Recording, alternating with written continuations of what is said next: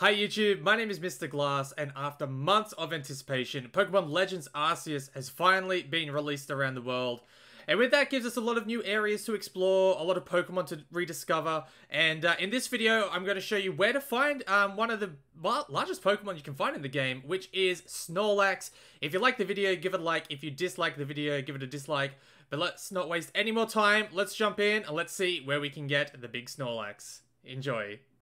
Before we head out to find Snorlax, we want to make sure that we're properly prepared. So before you head out, make sure you have plenty of Pokeballs. If you need to, head to the crafting station and make sure you have plenty of Heavy Balls, Great Balls, or Pokeballs, or any other ball that you may have uh, at your part of the journey. The second thing to make sure of is that you've got a team ready to take on Snorlax. Snorlax is a difficult Pokemon to battle against and is hard to catch, um, so make sure you've got a decent team um, who is able to either status Snorlax or uh, give it some damage uh, so you can weaken it to make that chance to catch it that little bit easier. Once you're all set with your Pokeballs and your team is ready to go, head to the entry gate and talk to this gentleman here and head out to the Obsidian Fieldlands.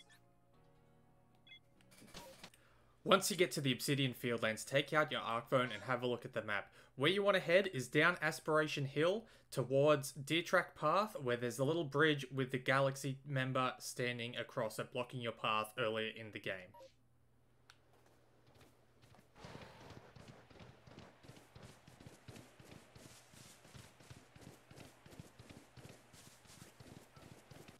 Once you get to the bottom of Aspirations Hill, where the bridge is with the Galaxy team member, turn right and follow the water line down as if you're heading towards Sandgem Flats.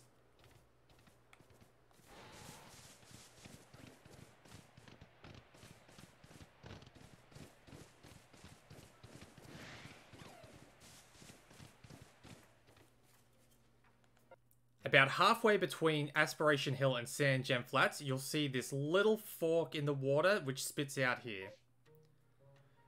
Once you get to this part here, cross the water, and there you will find the Snorlax. Keep in mind that this Snorlax is an alpha Pokemon, so it's going to be stronger than a lot of the other Pokemon in the area. This Snorlax will also come out at level 45. So make sure that you've got plenty of Pokeballs, you've got plenty of rev revives and potions, uh, because you're most likely going to need it. It is going to be a difficult Pokemon to catch, but if you stay persistent, you'll get it and you'll be rewarded with one of the strongest Pokemon in the game. I hope if you enjoyed this video, if you like the video, give it a like. If you dislike the video, give it a dislike. Uh, and I can't wait to bring you more videos about Legends Arceus in the future. Thanks for watching, guys.